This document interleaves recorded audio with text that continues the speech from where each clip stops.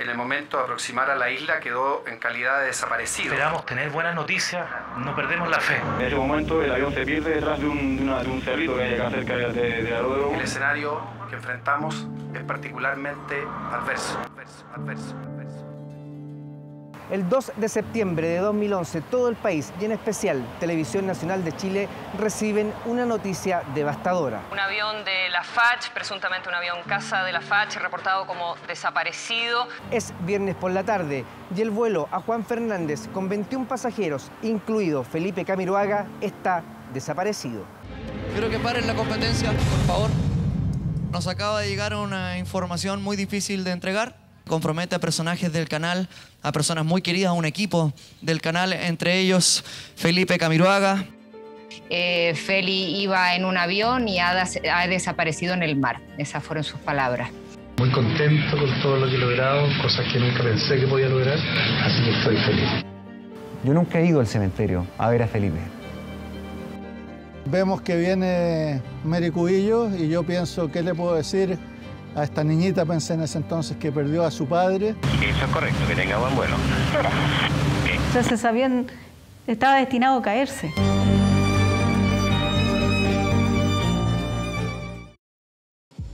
Apenas comenzaba el mes de septiembre de 2011 y la noticia era tan dura como increíble. Un vuelo de la FACH desaparecía en las costas de Juan Fernández. A bordo, 21 pasajeros del Consejo de la Cultura y las Artes, del desafío Levantemos Chile y de TVN. A las 17.48 horas de esta tarde, el avión Casa 212 de la Fuerza Aérea de Chile que viajaba a Juan Fernández perdió contacto con la isla, situación que se... Me llama mi señora y, y- y me dice espantada, me acaba de, llegar- de llamar la Fernanda Hansen que, que hubo un accidente con el equipo de TVN y que se cayó un avión. Vamos a tomar contacto con eh, Amaro. Mm. Amaro Gómez Pablos está en el grupo 10 de la FACH. Así es, muy buenas noches, Juan José Consuelo. La información dolorosa, la información también muy dispersa, fragmentaria. Pesqué el auto, me fui rajado al, al aeropuerto. El escenario que enfrentamos es particularmente adverso. Y me llamó mi padre por teléfono. Y, y mi padre eh, lo, lo que me dijo fue lo que, lo que le habían comunicado a él, que fue eh, Feli iba en un avión y ha, ha desaparecido en el mar. Esas fueron sus palabras.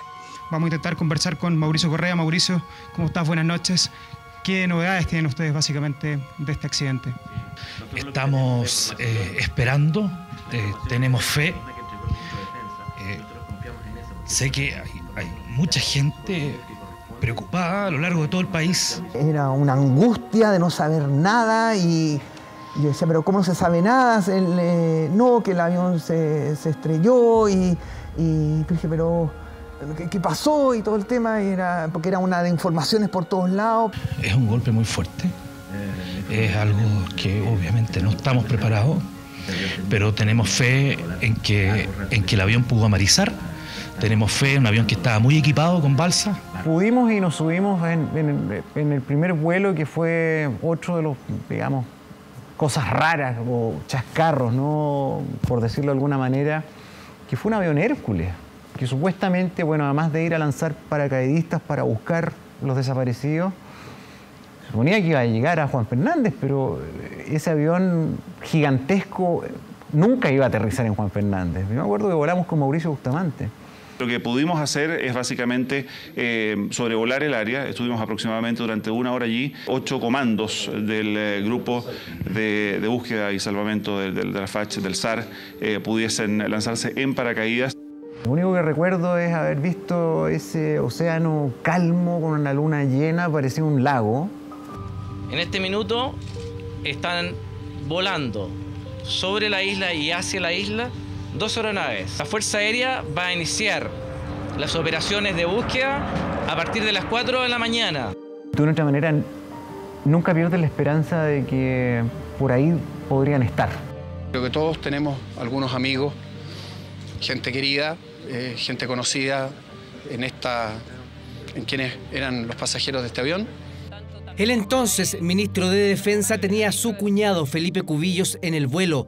Familiares y amigos comenzaron a llegar al grupo 10. Y ahí nosotros tomamos la decisión de irnos al grupo 10.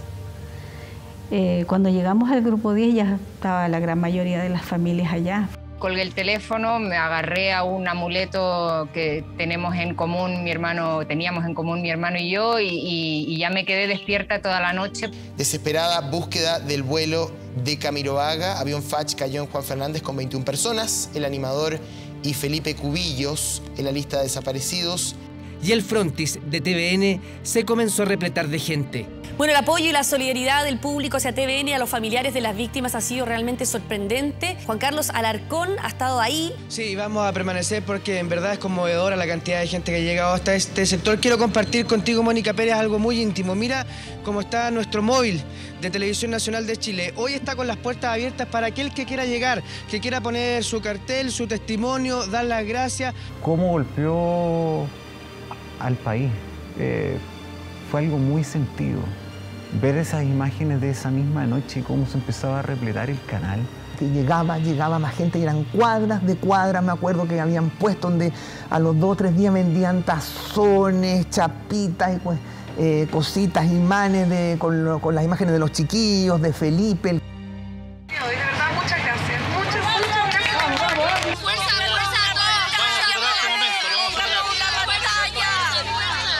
Pero de la esperanza se pasó en un segundo a la realidad. Me toca brindar una información triste y desgarradora para todo un país que guardaba la esperanza. Estoy consciente de que nos ven familiares y amigos de las víctimas. A ellos un solo consuelo. Los 21 pasajeros del Casa murieron instantáneamente apenas impactaron el mar. Y ahí está el despacho de Amaro donde, donde comunica eso de que los 21 habían muerto. Yo nunca he ido al cementerio a ver a Felipe. No voy. No me gusta si ahí no hay nada. Felipe mm, adoraba su país y tenía una conexión muy profunda con, con el pueblo chileno. Entre las víctimas, Felipe Camiruaga, el rostro ancla de TVN, un animador que se había metido por más de 20 años en lo más profundo de los corazones de las familias chilenas.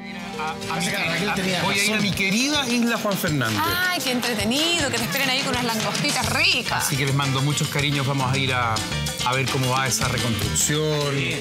Bueno, es que yo creo que él tenía tenía un carisma especial, tenía una presencia especial, tenía mucho ángel, digo yo, y eso, eso es un don que, con, el que, con el que nació. Yo creo que es una característica que no se aprende, se tiene o no se tiene. Él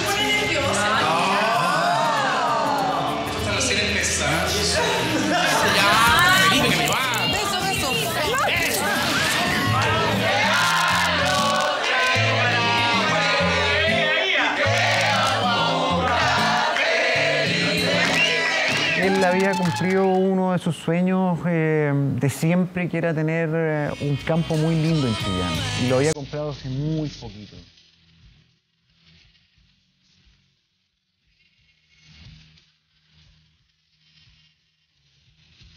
Si bien nací en la ciudad y me crecí en la ciudad, pero siempre, siempre añoré el campo. Mis vacaciones fueron en el campo.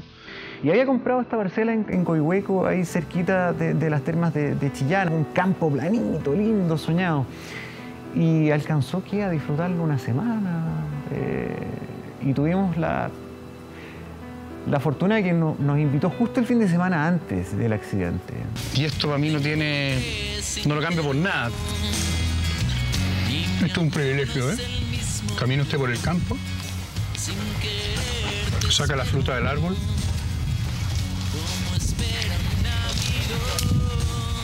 Por eso me considero una persona 100% afortunada. Pero sí tienes razón, que estaba en un momento de su vida súper, súper feliz, súper pleno. ven, ven, Tranquilo, tranquilo, tranquilo. Este guatón es una, una morcilla, una prieta. Este es santo. ¿Cierto, guatón? La orca, la que está allá. ¡Orca, venga! ¡Venga! Y le habían puesto tonca. ¡Orca, ven! Y yo obviamente no le iba a mantener el nombre de mi compañera, que le puede parecer mal. Así que dije algo que sonara parecido para que me entendiera y le puse orca. Yo tengo la suerte de que era mi hermano, de que le conocí más allá de las pantallas eh, profundamente y sabía cómo era. Y, y es que parte de su, de su magia es que era tal cual como se presentaba en cámara. Cumplí 40 años, ¿eh? Este animal nocturno ha cumplido 40 eh, años. Y me siento bien, estoy mejor que nunca, señora. Irradiaba, irradiaba simpatía, irradiaba inteligencia, irradiaba humanidad. Nunca, por ejemplo, hablé del amor que siento por una mujer. Y hoy día lo voy a decir. Y lo voy a decir con responsabilidad, pero con mucha emoción también. Quiero hablar de una mujer que me ha robado el corazón. La extraño, echo de menos sus ojos, su sonrisa, su mirada. Éramos, éramos muy amigos, conectábamos muy bien y, bueno, Félix siempre que podía se escapaba a donde yo viviera. Yo cuando estudié arte dramático en Londres, pues vino a verme. Afortunadamente, una o dos veces en el año nos comemos a besos porque nos queremos mucho.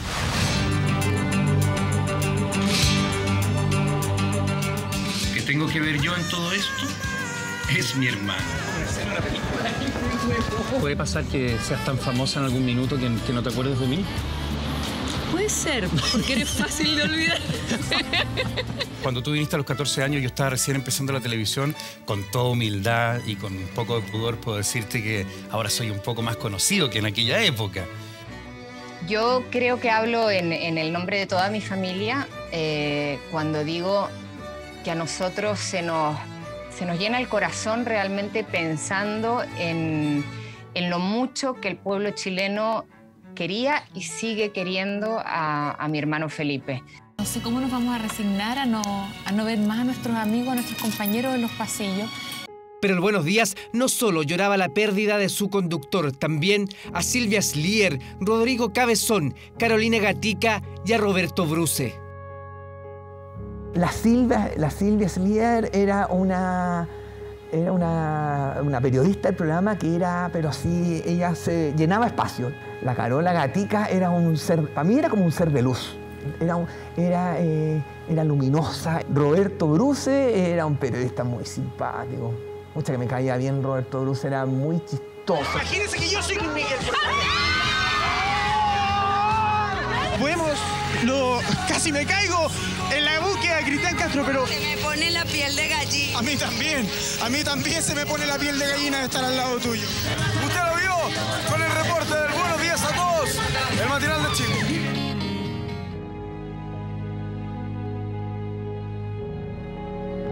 En paralelo, el desafío Levantemos Chile perdía seis de sus miembros, incluido su fundador Felipe Cubillos, quien quiso ayudar a todos tras el terremoto de 2010. Ya tengo el grupo de donantes que va a donar eh, la, escuela para, Juan Fernando. Entonces, lo que necesito es que tú me mandes por mail a la brevedad. Necesito fotos de donde la instalaríamos. Esto es modular, así que no, no necesariamente el lugar definitivo. El navegante iba precisamente a terminar la reconstrucción a Juan Fernández. El, cielo, es el límite. Recuerdo en particular que vemos que viene Mary Cubillo y yo pienso, ¿qué le puedo decir? A esta niñita, pensé en ese entonces, que perdió a su padre.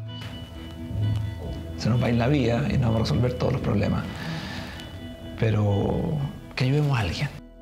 Siempre digo que Felipe me, me enseñó a soñar desde el pragmatismo, porque él partía con el sueño y después decía, ya, ¿cómo lo concretamos? Trabajamos de la mano con ellos, no competimos con nadie, simplemente juntamos todos estos esfuerzos y generamos la magia. Nosotros en Desafío Levantemos Chile no somos analistas de lo que pasó, somos gente que queremos seguir con la antorcha que nos entregaron todos nuestros amigos que cayeron, digamos, en, ese terrible accidente.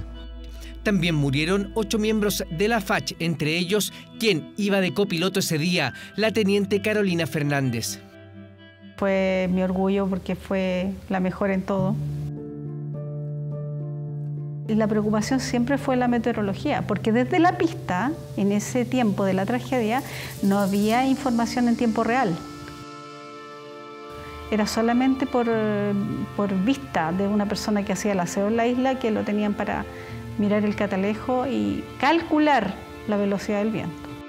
A una década su madre ha luchado por limpiar su nombre luego de que la justicia determinara que el vuelo capotó producto de malas condiciones climáticas, de vuelo a baja altura y de falta de experiencia de los pilotos.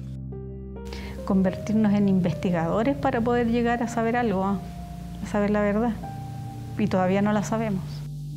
Este vuelo tuvo una planificación que no la hicieron ellos. Ellos fueron nombrados dos días antes del vuelo. La Fuerza Aérea informa que no quedó ninguna de las copias del plan de vuelo en tierra, cosa que es muy rara, porque son tres copias y solo una se va en el avión. Pero misteriosamente desaparecieron las otras dos.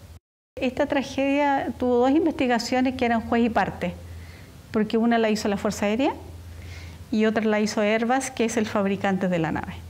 La Corte de Apelaciones de Valparaíso ordenó al fisco indemnizar a todos los familiares de las víctimas, menos a la familia de los pilotos. La Corte de Apelaciones de Valparaíso primero dijo que este vuelo, que, este, que esto era un caso fortuito. O sea, yo no sé quién con dos dedos de frente puede decir que una tragedia con, esta, con este nivel de errores puede ser un caso fortuito. Nadie ha logrado acreditar que mi hija, que es la que iba haciendo las comunicaciones, no piloteando, tomara la decisión de volar por un lugar determinado o a baja altura. La FACH cerró el sumario sancionando a 13 oficiales administrativamente y ratificó las conclusiones del ministro en visita, Juan Cristóbal Mera, otorgándole la responsabilidad a los fallecidos tenientes Carolina Fernández y Juan Pablo Mallea. Los estanques subalares fueron probados en Antofagasta y fueron retirados para privilegiar pasajeros y carga. No tenía combustible para volver.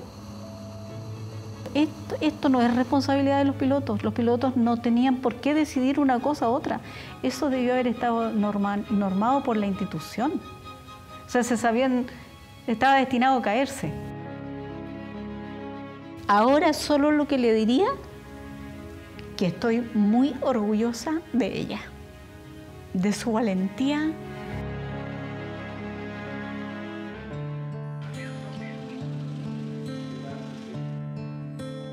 y del dolor al recuerdo del frontis de TVN lleno de personas de todo Chile, de decenas de libros firmados de condolencias, de cientos de pancartas, de un cariño gigante.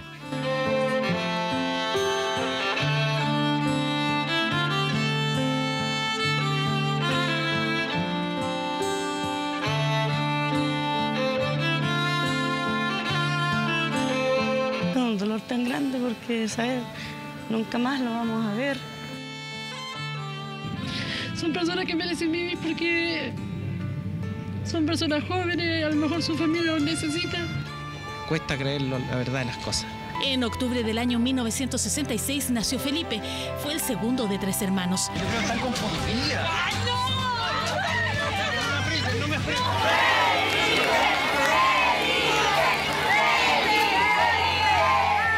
Del multitudinario funeral de Felipe Camiroaga, como pocas veces vio la capital. ¡El pueblo está contigo! ¡Felipe! ¡Amigo! ¡El pueblo está contigo! ¡Felipe! ¡Amigo! ¡El pueblo está contigo! Y te exijo que hagas volar a todos los halcones que hayan allá arriba para que traigan al cabezón y a todos los que faltan. Hermano lindo, porque no te quedas en el mar, ni en el viento, porque estás libre. ¡Adiós, Felipe! ¡Hasta siempre! ¡Vuela, hijo, vuela!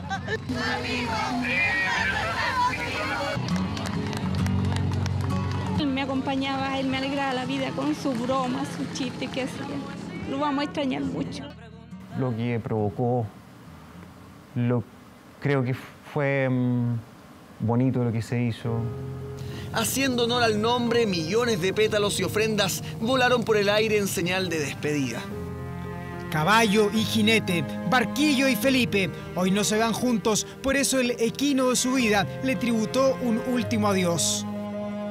Cuando se fue, lo sentimos profundamente, sentimos profundamente el apoyo de un país completo y la unión en ese, en ese dolor y en esa pérdida que estábamos sufriendo todos. Y él tan amoroso, tan atento, tan humilde. Pero estamos hasta el último acompañándolo.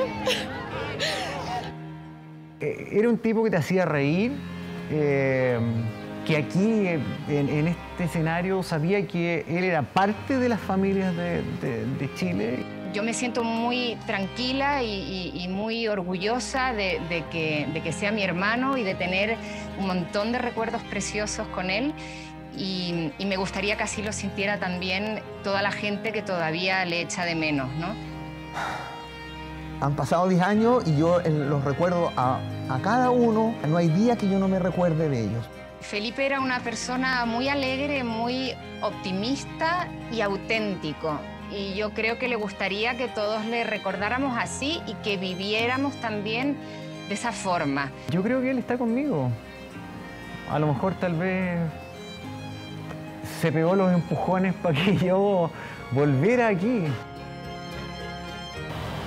A 10 años de la tragedia recordamos los rostros de los miembros del Consejo de la Cultura y las Artes, del desafío Levantemos Chile, de la Fuerza Aérea y de nuestros compañeros de Televisión Nacional de Chile, que viajaron a Juan Fernández a hacer el bien, a reconstruirla y allí encontraron su muerte.